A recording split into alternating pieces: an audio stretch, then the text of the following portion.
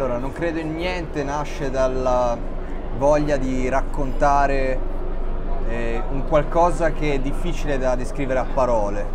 E quindi ho pensato che questa cosa andasse bene per fare un film, perché un'altra forma narrativa non avrebbe avuto la forza per riuscire a descrivere quello che, è, che non crede in niente, poi quello che è diventato non crede in niente, che è un racconto generazionale fatto basato sulle sensazioni di ragazzi di una generazione che appunto è la mia, quella che, che ho vissuto io, diciamo, racconta quello che questi ragazzi hanno sentito nel corso de, degli ultimi 10-15 anni di, di, questo, di, questo, mondo occidentale. Ho voluto fare questo film eh, in, questa, in, questa, maniera frammentaria,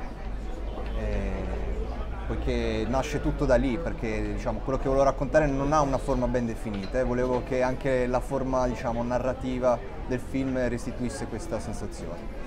Qual è stata la difficoltà produttiva maggiore? Dunque, eh, le varie difficol- fra le varie difficoltà, diciamo, eh, lo scoglio maggiore è stato quello di,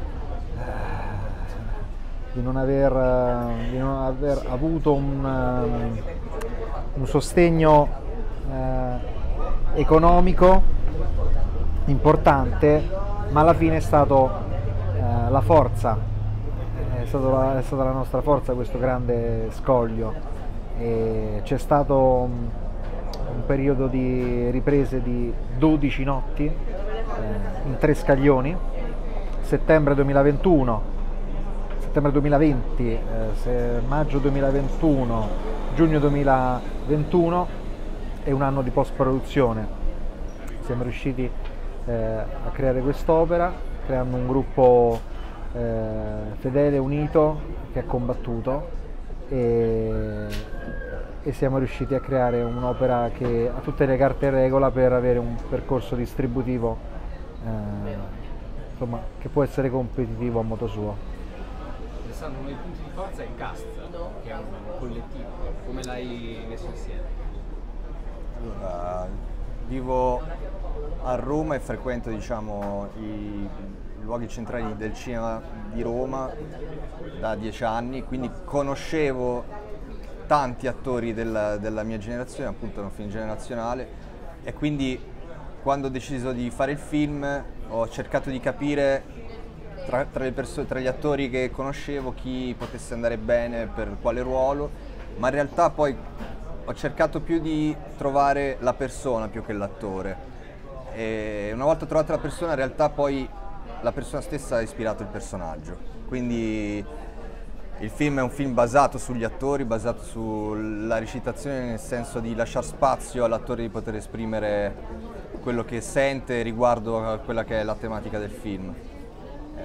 Esteticamente non hai riferimenti precisi? Sì e no, è chiaro che il primo riferimento, come ho già detto tante altre volte, viene dal cinema orientale, da Wong Kar Wai, eh, al quale mi ci sono avvicinato col mio ultimo corto che ho girato in Cina, eh, ma anche tanti altri. Eh, penso che tutto quello che ho visto, anche inconsciamente, poi l'ho buttato dentro in questo film. Quanto l'ha fatto vederlo a Pesaro per la prima volta sullo schermo? Beh, uh, lì dopo tutte le fatiche, ecco, ritorniamo a parlare delle fatiche, tutte le problematiche che ci sono, eh, si scorda tutto, si scorda tutto quando vediamo eh, l'opera proiettata e i riscontri e le, e le risposte. È una grande emozione, ma la grande emozione sarà ancora più bella vedere le sale, eh, speriamo piene.